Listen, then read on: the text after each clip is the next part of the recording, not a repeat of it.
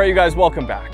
I don't often revisit cars on the channel. Maybe if they've gone through some sort of significant change, a big boost in power handling, or if we have like a different way, a different context, uh, or a way to showcase them and show you guys them in a different scenario, right? Behind me is an exception, okay? I drove this 1984 86 about seven years ago. The big thing is it's got an S2000 F20C under the hood, it revs to 9,000 RPM, and the current owner, the one that Patrick sold the car to, has taken it in his own direction. Now we've all had, I'm sure, these moments if we've built the car. I can't speak to that, but if you have had one of these moments where like an old friend will come to you and be like, hey, whatever happened to that car you owned and modified, and then you have to spill the sad truth, which is, hey, the current owner, they ruined it. They took what you had put so much time and love and energy into it and just taken it where you did not want to take it. But this is not one of those stories. Uh, and here we'll just go for a drive and show you guys exactly why. So let's do it.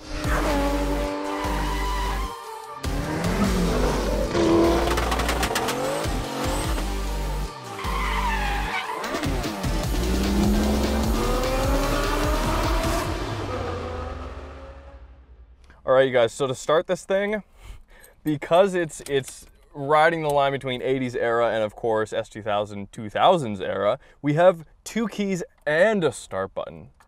It's like the worst aftermarket ignition system start button ever, but that's what Honda did, OEM on the S2000. So one key in the, in the steering column and then ignition. There you go, fuel pump prime is the actual Honda key. And then we have the engine start button from the S2000 over here.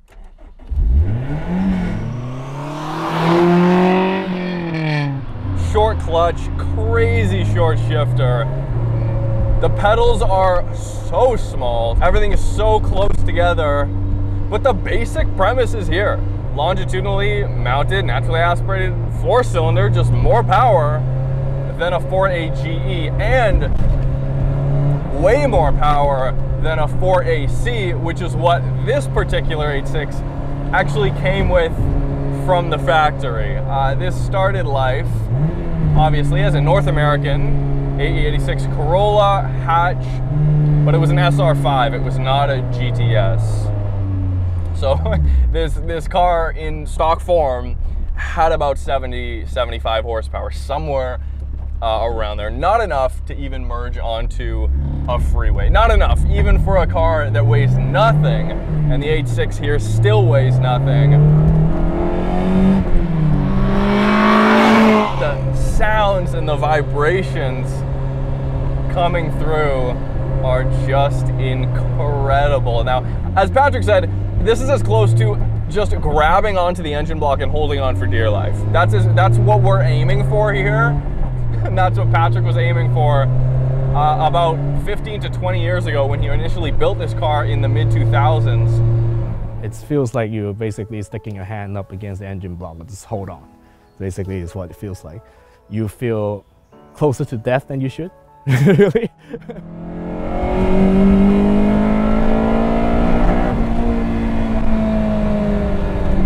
I was looking for VTEC. The VTEC kick actually isn't all that pronounced. Of course, this is an F20C, so it's an AP1 S2000 engine. It revs to 9,000 RPM. All right. No, it has some torque. You've, you've got to be around 4,000, but when you have 9,000, 4,000 is like 2,000 in a V8. So you've actually got decent torque here.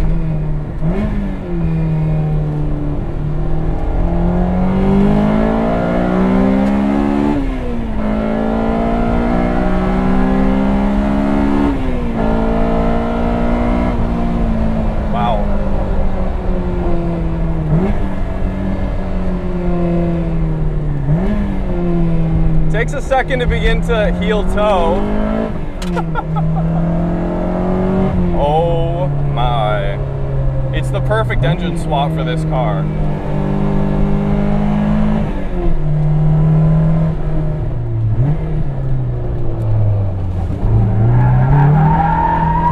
Oh yeah, there we go.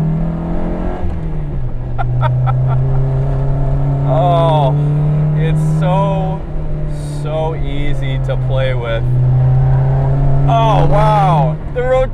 It, there's no weight.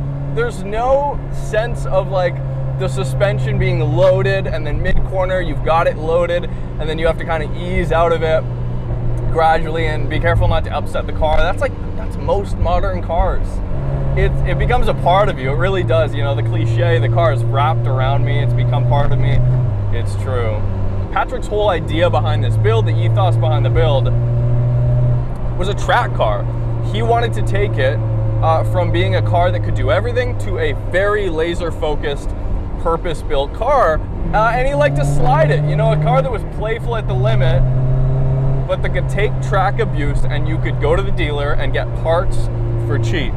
And Dylan, the new owner, has softened it up a little bit. So he's brought it down, he's toned it back down. All right, dip it in. Oh, it sticks.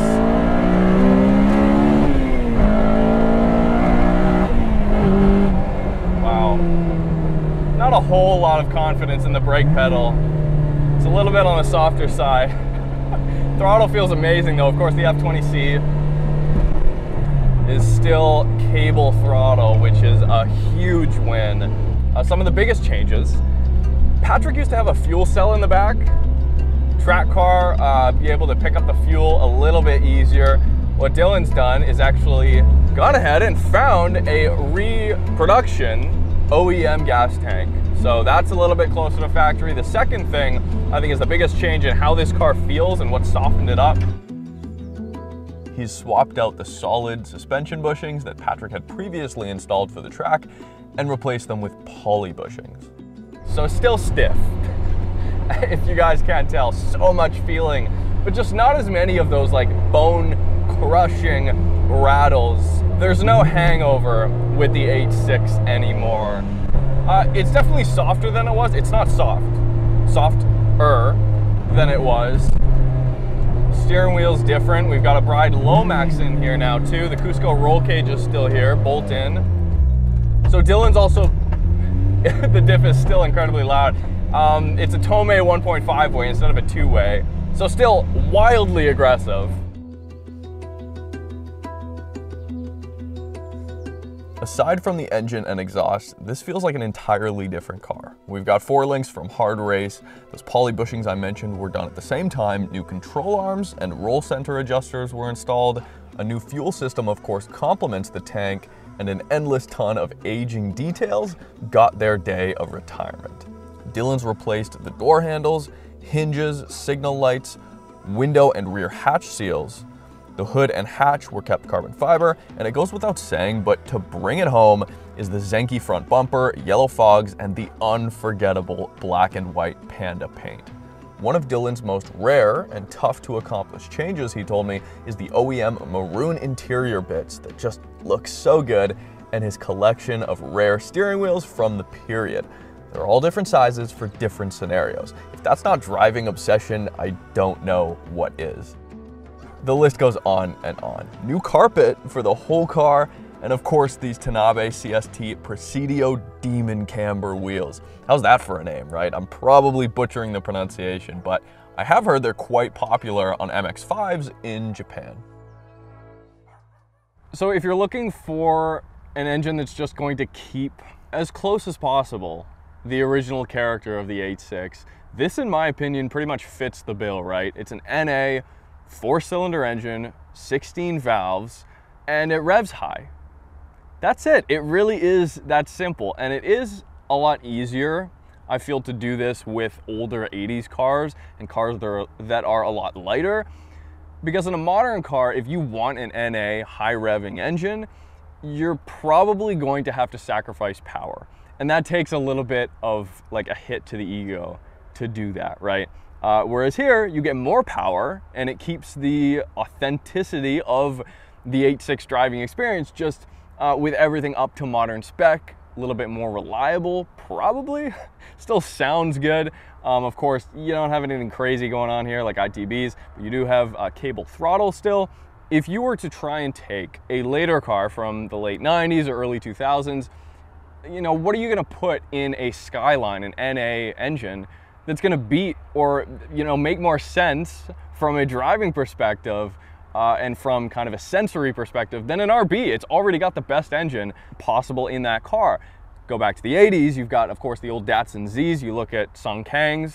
That's, that's a perfect upgrade. Similar kind of scenario, similar kind of ethos that we have here. Just an NA, a more modern NA engine that fits the exact philosophy that the original car came with.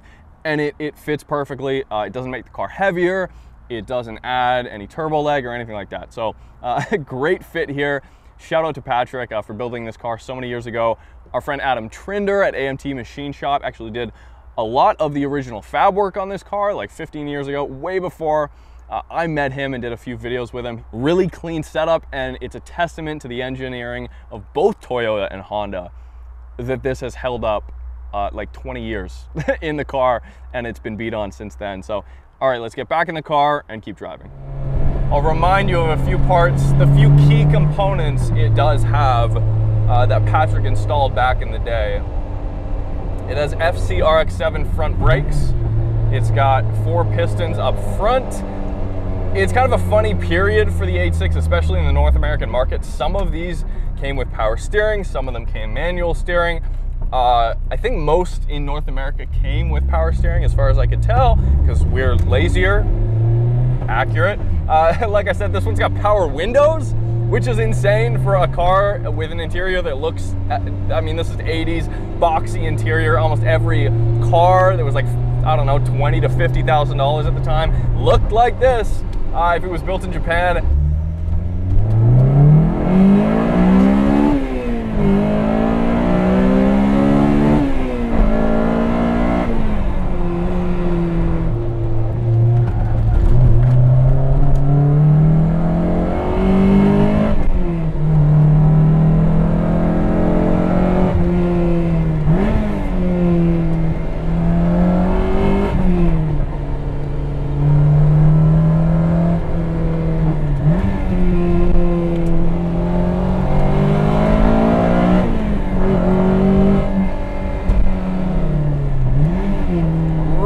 trying to get the 3-2 heel toe. It's tough though. it doesn't dart around nearly as much. It's definitely a lot more composed for the street. And Dylan's dailying this car. Like it's not quite daily material. Anything could be a daily. What am I talking about? You you can make anything a daily. It just takes a lot of convincing, internal convincing, self-deception. Oh, Perfect example right there, big bumps. But they don't really upset the car. It's a little on the bouncy side, still has a little bit to get worked out here, but oh my God. Heel toeing takes a little bit to get used to just because the, the brake pedal, it, it feels like a sponge. It's not the greatest, but the car is so light. Like you could feel the grab, you can feel the car grab, the brakes grab, but I don't feel it through the pedal. So there's there's a bit of a, like a false confidence in the brake pedal. Uh, so it goes far down, and then the gas pedal's still like way up here. So it's a little bit tough to heel toe. It's so much fun. It is a ridiculous amount of fun. That's it. That's basically everything I could say about this 86. Amazing car please hit the like button if you haven't already. It really helps us out. And if you want to check out our website, roadsuntraveled.com, we just restocked a bunch of our embroidered engine code key tags, including, of course, the F20C, the F22C, and the 4AGE. So uh, that link is in the description. We'll see you soon.